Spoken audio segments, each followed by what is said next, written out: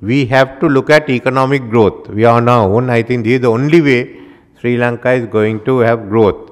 So, firstly, we have to have a very competitive economy and we have to reach out. This is why we are having trade agreements. We've even uh, applied to join RCEP. We're having trade agreements with in, we are negotiating with India, China. We've uh, finished with Singapore. We are about to conclude with uh, Thailand We'll have to go back to EU to deepen our trade relations. Secondly, it has to be digitalized and I'm forming the digital transformation agency to handle it together with a center for research on AI. We also have to comply now with the requirements of the net zero plan and the green economy. So we have to be a green economy. Finally, we have to go for growth.